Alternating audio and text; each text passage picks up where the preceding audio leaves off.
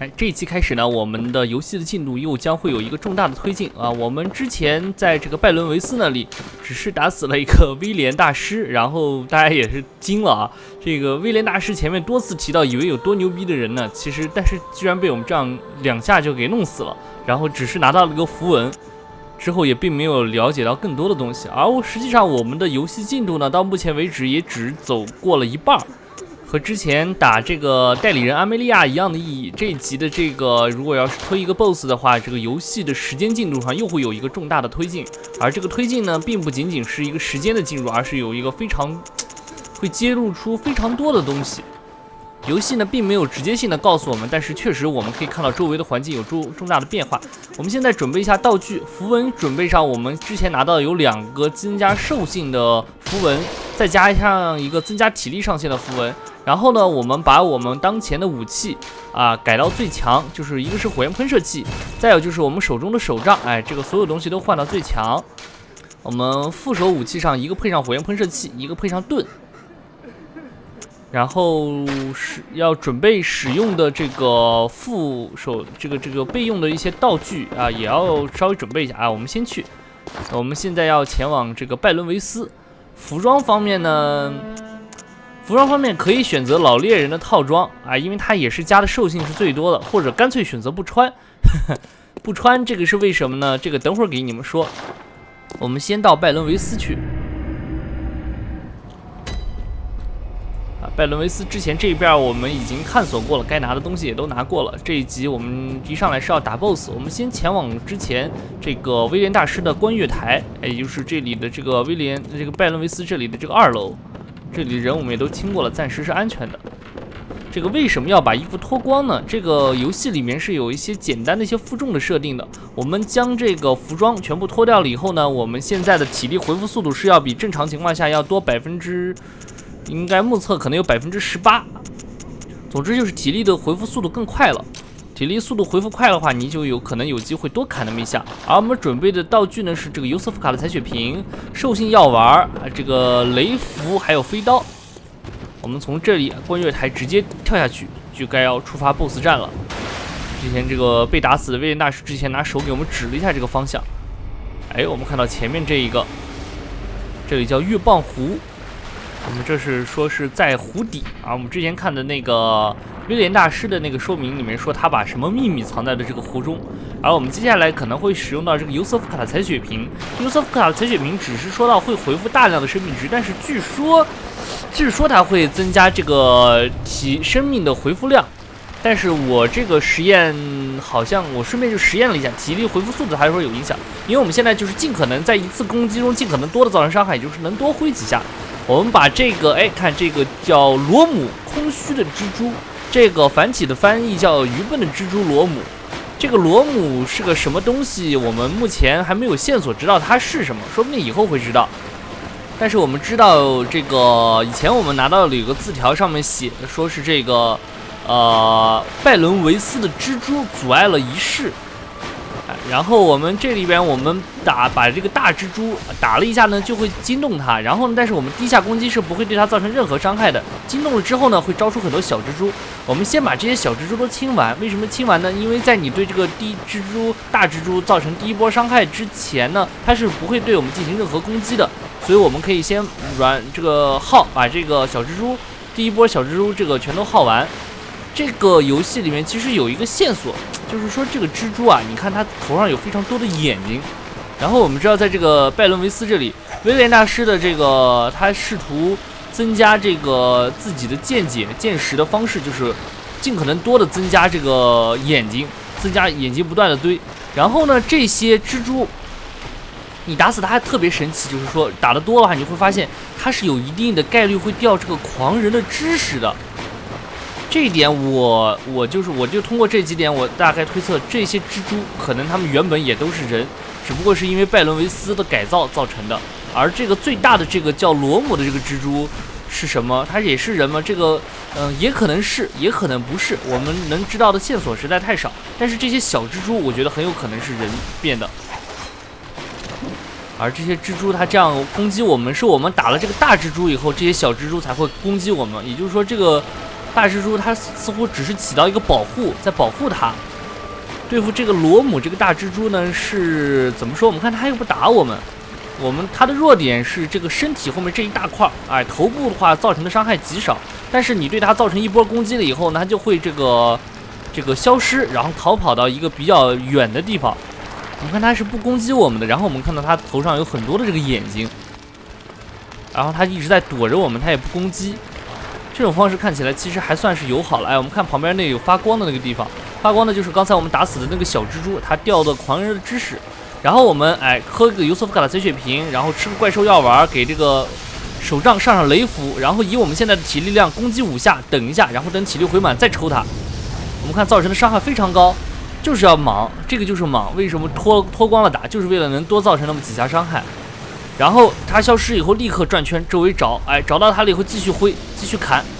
但是呢，只要打掉它这个百分之。一波二的血量之后呢，他就又会下一次又会招出一波蜘蛛，然后之后呢又会招出一波，之后呢这个罗姆这个蜘蛛呢，他会放奥数魔法来保护自己。你靠近了它，它有三种招式，一个是压杀，要么就是大范围的放这个冰块的这种魔法，再有就是说放奥爆，哎，自己这个周围周身放一个奥数的一个魔法爆炸。再有，如果你离它远的话，它会放这个从空中召唤这个冰柱，然后来攻击你。这些攻击呢都是相当有威胁的，但实际上呢，这个盾是可以对它造成很大的伤害的。哎，看我们靠近它，它就会出一波压杀。我们现在场面上看到这些小蜘蛛，实际上是已经有两波蜘蛛了。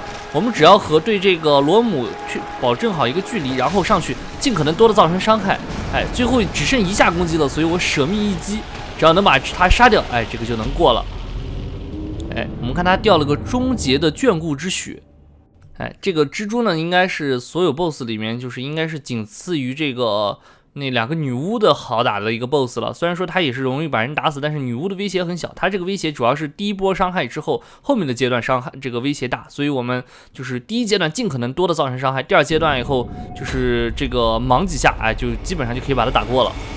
就是在第一阶段尽可能的就缩短战斗流程。好，我们现在已经可以把衣服再穿上了啊，因为我们只要再去跳到这个月棒湖就可以了。有东西可以触发啊，但是这里同样说到一点，这个游戏的进度推进需要我们后面再触发某样东西，就像之前我们打败代理人阿梅利亚要突破那个头骨以后，游戏的进度才会推进。所以说，如果你要有什么东西之前还忘了还没有拿。还没有做的事情，就趁这会儿赶快做啊！不过我们这里是之前该做的都已经需要做的都已经做过了，所以我们可以跳进去。哎，再次就打败这个罗姆之后呢，我们就会看到这里有一个穿着像婚纱一样的女人在那里哭泣。但是告诉一击脱离很有效，哎，有些人给我们留下了字条，很多人都应该是死在这里，然后还留下了很多信息。是闪电的时候了，哎，因为这个罗姆他的弱点。就是闪雷属性造成的伤害很高，哎，火属性当然也会造成一些，但是雷属性造成的更高。我们到这个女人这里看看会触发什么。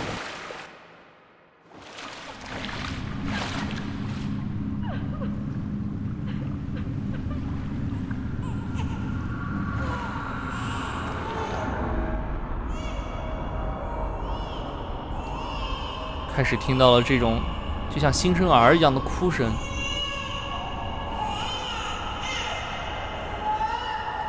而后我们似乎就像晕了过去一样，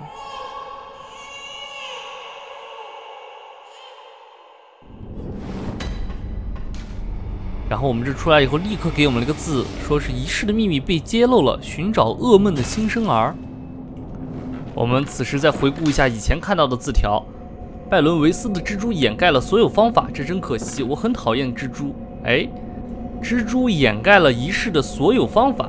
就是刚才我们杀死的那个罗姆蜘蛛吧，再有就是我们之前在这个未见之村亚哈古尔这里有一个字条，噩梦一般的仪式渴求着新生儿，找到新生儿并停止他的哭号，停止他的号哭。那边听起那个字条看起来要进行仪式，而这个字条看起来是要阻止仪式。但是旁边又说了，狂人秘密的进行着各种仪式，试图召唤一月亮，揭露他们的仪式。而我们之前也看到了，在这个旧亚南那里啊，以前也有过月光照耀之夜，但是这个已经给大家说到了这些东西联系起来，已经可以想象一下就是发生了什么事儿吧。但是谜团似乎还有这个新生儿，还有一个就是到底是什么仪式，谁在搞这种仪式，是什么目的在搞这种仪式？我们刚才出来的时候也看到了，那里停着这个阿米达拉，应该是恐惧的代理人吧。而且我们看到迎面那里的那道门打开了，而且我们这个时候要是靠近那里，阿米达拉是不会去抓我们的。呃，这样反过来说呢，就是说，如果你之前噩梦边噩梦前沿没有去过的话，如果进度推过雪月的话，你噩梦前沿就去不了了。那边的门呢，我们先不探索，我们回来也这个雪月，这个我们看到天空已经染成了这个红色，啊，这就是雪月啊，大家常说的这种。天上的月亮成了鲜红色。之前我们在这个打完罗姆以后遇到那个女人之后，我们看到月亮也是变成了红色，这似乎就是他们召唤的某种仪式。而这个蜘蛛不知道是以什么方式阻止了这个仪式。哎，我们把，但是我们把这个蜘蛛杀死了，这个时这个时间就这个雪月就被召唤出来了，月亮就变成了鲜红色。然后呢，我们就在周围听到了很多新生儿的这个声音一样，到处都有，可能某家某家就有了这样的一个新生儿。而我们刚才试图去这个敲击这些门，有这个红灯的红色这个灯笼的这个门，这里面的人都不说话了，没有回应。之前我们知道他们是发疯疯的越来越厉害的这种感觉，但是到这里的话，所有人都没有回应了，也不知道他们是怎么了，他们是变成怪物了，还是说都已经死了？我们先不管那些，我们先沿着这条路这样反上来。接下来我们先做一下这个准备，我们先往这边走。这里看，这是这边是那个阿梅利亚的代理人的那个大教堂，治愈教会的大教堂了。我们从这边能返回到这个，哎，我们看到这个这个巨人他睡着了。这是因为我们之前只要打败了这个阿梅利亚，时间触发到这个午夜之后，哎，这些巨人呢，有些敌人呢，他们就会这样进入睡着的状态。有些配置呢也会跟原先也不一样。哦。这里，但是其他有些像这种神职者，他们还是配置还是没有变化的。你看，我们经常走着走着就听到有这个儿童的这个哭喊声。这边，哎，看到那里又一个阿米达拉趴在那个墙壁上。你看他手上拿着这个灯笼，但是我没有机会去观察。我们把他打死了，他手上的那个灯笼就不见了。没有机会去观察他手上那个灯笼具体是什么样子。有的人跟我说是眼睛，但是我没有机会仔细去看。哪天我看这个慢放试一试。哎，这边这个乌鸦还在，但是右边的话看，哎，那个神职者不在了。然后过来这个布袋哥，布袋哥也不见了。乌鸦和原先在这里有乌鸦，然后打过犬兽以后，这里是变成了布袋哥。然后这里有一个神职者也不见了。然后这里的话，如果你的洞察力原本不高，你依然可以看到旁边的这个阿米达拉。我们来跟这个 NPC 说话，听起来这个修女似乎像疯了一样。怎么跟他说话都没反应。哦，这是那个妓女。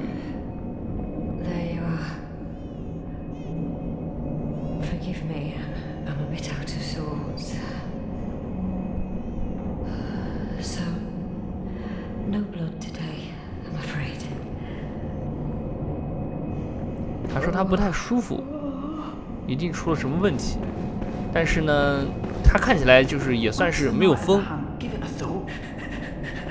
啊，这个可疑的这个人看起来还是没有什么变化。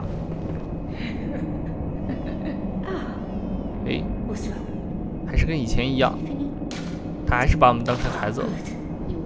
老奶奶，你就静静的坐在这里吧，岁数那么大了，不要有什么负担。就想想就能知道。呃，麦教授给他说，他这个形象特别像那个，呃，罗马时期的什么犬儒。我们看天空紫红紫红的，而那里这个鲜红色的这个月亮，月亮是怎么样了，就变成这种样子了。然后此时的话，我们返回到这个猎人梦境。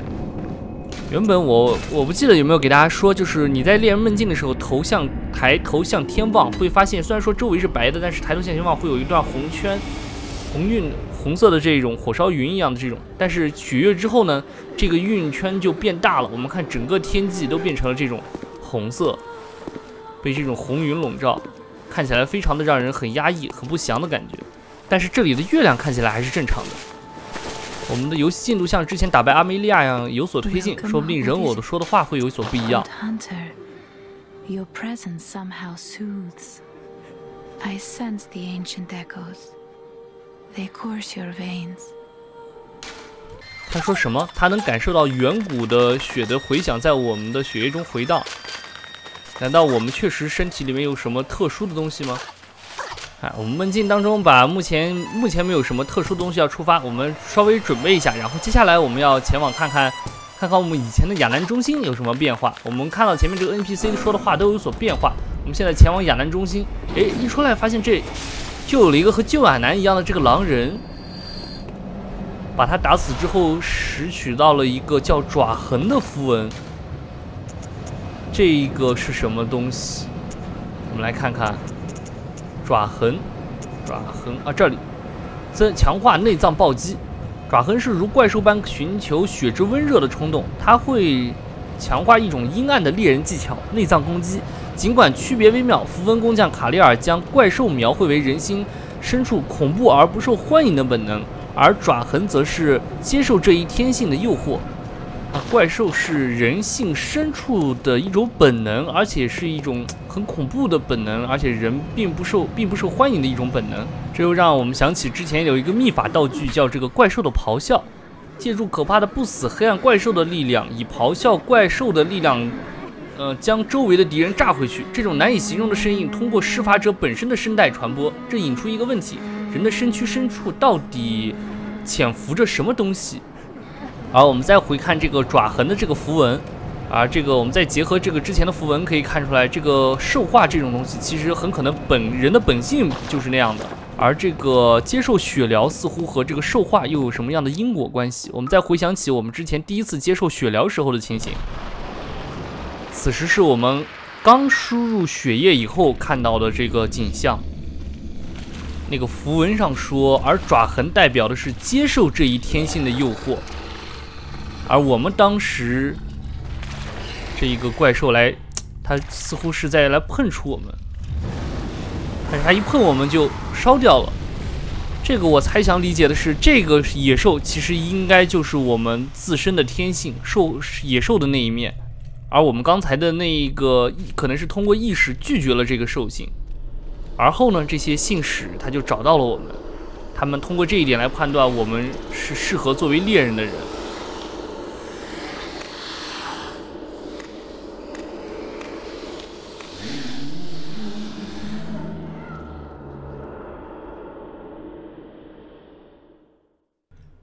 这句话的意思应该是说，你发现你自己是一个猎人了，或者说是你发现你自己具备作为一个猎人的条件了。而我们看到这里的这个窗户是破开的，显然刚才的那个人，刚才的那个狼人应该就是之前给我们就是一不断咳嗽的那个人，而他通过那个符文可以看出来，他似乎是接受了自己的兽性，没有没有抵抗住，于是就变成了这个狼人。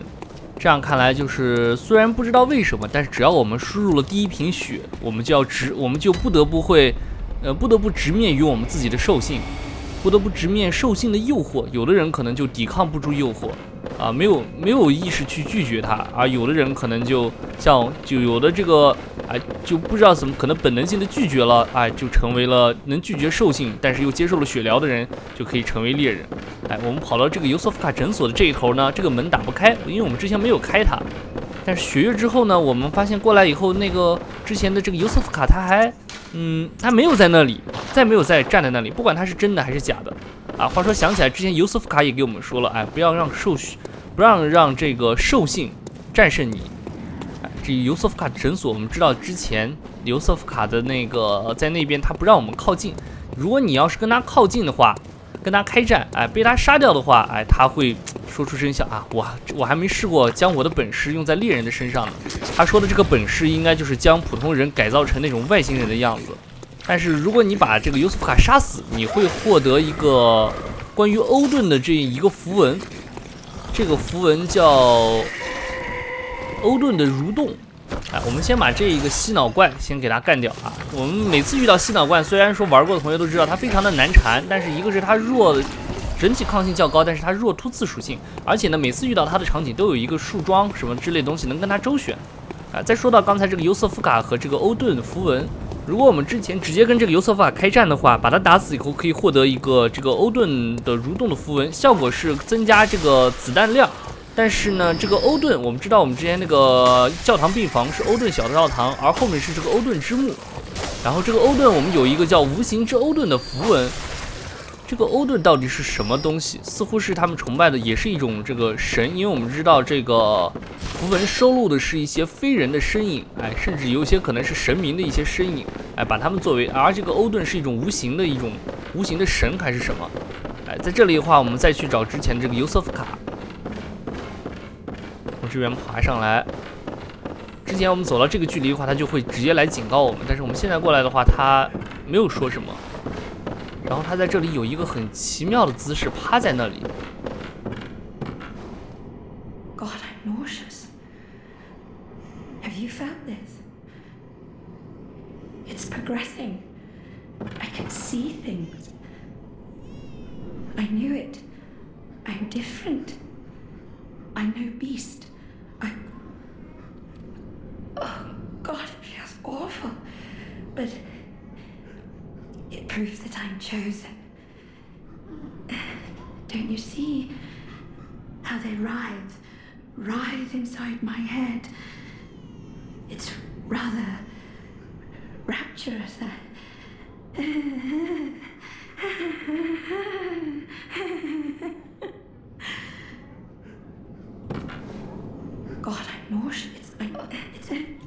好像没什么，但是如果这个时候我们能将他杀死的话，会获得获得的就不是之前的那个无形之我这个欧顿的这个相关的这个符文了。我们可以听到在周围有一些其他的新生儿，而他这里为什么一下子就会多了很多新生儿呢？哎，我们说不定会增加我们的洞察力，说不定会有额外的发现。我们试一试，神明的知识捏了。没有看到什么，再把剩下的这个狂人的知识也全都捏了，好像还是没有什么发现，只是看到他不停的在这种抽搐，而且是这种姿势。然后我们来看一下之前那个符文“无形之欧顿”的这个符文，这个欧顿是大神，没有形体，只有身影。然后呢，这个女的她又说她是一个选中的人，她怎么就被选中？她选中她做什么？然后欧顿和他的忠实信徒们都在寻找着珍贵的血液，就是在找着某种血液。哦，这个时候我们如果把他杀死了以后，他又找到三分之一脐带。但是这个脐带跟我们之前拿到的不一样，这个脐带是另一个解释。一件伟大的神器也被称为眼之锁，每个大神的婴儿都有这个脐带的前身。院长威廉大师寻找过这条锁子，哎，这个。西固通过将自己的脑与多个眼相连，将自己的见识与思维上升到大神的程度。他知道人类想达到大神的程度，这也是唯一的选择。这里就说到了这个威廉大师的这个呃探索这个神的意识的方式，就是不断的增加眼睛，但是也间接告诉我们了，哎，增加眼睛的数量可以增加见识，可以甚至增加到这个神明的大神神明的这个知识学识，神明的意识的程度。然后我们再看一下之前的那个脐带，每个大神都失去了自己的孩子，然后又呼唤着替代者。三分之一脐带促使了暗淡之月的到来，而暗淡之月又召唤了猎人，并构筑了猎人的梦境。我们通过这个脐带上了解的信息，就是似乎好像不明觉厉啊，觉得好像明白了什么，但好像又不太明白。就是他所说的那些词语到底都说的是什么东西，我们都不知道，就是没头没脑的那种。不过呢，没有线索，我们这些问题想再多也没有用，所以我们先继续看能做些什么吧。多杀些怪兽，哎，这是为了我们自己好，是吧？啊，我们现在回到了教会镇，哎，这个在雪月之后呢，又有一件事情可以触发。我们回到这个，我们如果是你要是在这个梦境去点灯，会发现这个大教堂的门，大教堂的灯无法使用，你无法传送到那里。然后我们现在就从最近的这个欧顿小教堂。过离教堂病房这里，前往那里看看那里出了什么事情。啊，沿途一样，哎，先杀几个人。这边过来，这里有一个带有奥数、富有奥数属性的这个镰刀的这个神职者。不过以我们现在的攻击力，两杖就给他秒了。上去。这个巨人在睡觉，还是不要去打扰他。我们不需要多余的麻烦。上面本来有两个拿这个三叉木的这个神职者，但是呢他不在了。然后我们这里看到，哎，鸟姐在这里。Is that you again? I'm afraid I've made a bit of a blunder. I'm just going to have a short rest. No, don't worry. I've taken blood. Enough to save an old woman. dreams for me. This is my last chance. What a fool I am. I'll have to tread carefully. But that thing still lies in wait. Turn back. This is my score to settle. 获得了动作等待 The。prey lies in wait this way. This is my score to settle. 他还是让我们不要去插手，那么我们偏要插手。哎，这里上去的话会有一个非常难缠的猎人，我们要准备好武器，手杖、盾牌，然后呢，这个道具准备一下，道具准备上毒飞刀。我们这个已经收集了很多的毒飞刀，但是从来都没有用过。但是这个毒飞刀是刷不了的，所以是很有限的，要注意一下。毒飞刀和普通飞刀，普通飞刀可以多用一点。然后呢，我们看到前面有一个猎人，这个猎人非常的强，但是他使用的是这个这个该隐内系的那种武器，他的血质的这个伤害非常非常的高。他的太刀呢，在双持的状态下呢，可以造成非常大量的伤害，但是他会徐徐的给消耗自己的血量。而他单持的这个手枪是这个双发火枪，造成的伤伤害非常非常的高。但是呢，我们的这个盾对于这种远程的飞行道具的这个防御力是非常好的，所以我们可以架着它，以免它这个因为这个枪的子弹非常难躲。然后呢，我们将它拖到这个它自身的这个所在战斗区域的边缘，这样的话它不会强行靠近我们，反而会后退。哎，首先是等待它到这种这个双持状态下，我们看到它手持这个双手持刀的时候，它都会徐徐的掉血，这是因为它的这个武器的特性。然后我们发现它还会使用这个老猎人的这个腿骨，哎，就是在闪避的时候能这个蹭蹭的这个闪，速度非常的快。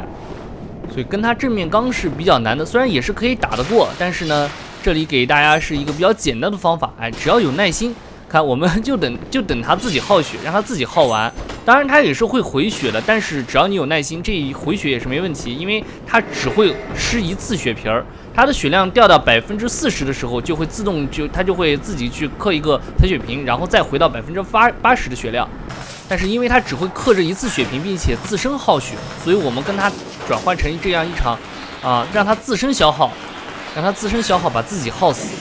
但是它是不会很傻到就是把自己的血量耗到一半以下，一直耗到死的。它也是知道，就是说，哎，血量低于到一定程度，它就不适合使用这个双刀了。它也知道自己只有一个采血瓶，所以我们把它这个它血量耗到一半的时候呢，它就不会在这个很很低的就很少的概率会在双持，就是不会再牺牲自己的血量了。而这个时候呢，我们要逼他喝掉下一个采血瓶。我们用飞刀，哎，虽然伤害很少，但是我们二十把飞刀怎么样都足够他这个，哎，把自己的血量耗到百分之四十，多戳他几下，哎，这样三十多三十多虽然不多，哎，但是这样很安全。而且我们因为是这个技巧型的，哎，所以说造成的伤害还也不算少了。技巧型的其实是能应应对的情况下相当多。那个力量型的话，就是可选择的战术打法就会少很多，就是大部分的话都是只能说是压制，但是压不住的话就只能被反杀这种。哎，看他自己已经使用掉采血瓶了，现在他又开始要用这个双刀的模式了。这种时候我们再跟他继续耗。现在的话就可以对他使用毒飞刀了，哎，他双持自己耗血，然后我们飞刀也会对他耗血，呃，三把飞刀就可以让他进入中毒，然后可以毒很久。你看他这就开始在伤血。我们这个注意，他这种阶段的时候，他会向我们丢这个麻痹烟雾、麻痹雾，这样的话我们就没有办法喝血了啊、但是我们的 buff 解除了以后，就是但是他还会继续给我们丢，所以我们最好趁这个时候把在他低于一半血量的时候就先把血喝满，然后继续跟他耗。我们大概就费只要费毒三次，费九把飞刀，啊，最后用普通的飞刀给他补个刀，他就死了。虽然很漫长，但是我们将自己的耐心化作了一种武器。哎，顺利的将强大的敌人击败啊！耐心也是一种武器。我们获得了符文“血之存罪”，“血之沉醉”。哎，之前打这个三基佬的时候就有获得这个符文，而这个从他获得的话是更强力的。哎，那个三基佬那的获得获得的是可以内脏攻击恢复两百生命值，这个是可以恢复三百，并且两个符文是可以叠加使用的。我们再来跟鸟姐说说话。Don't you ever listen to your elders?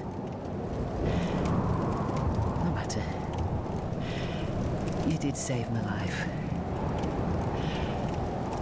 I don't seem to be up for this life anymore. My glory days were long ago now.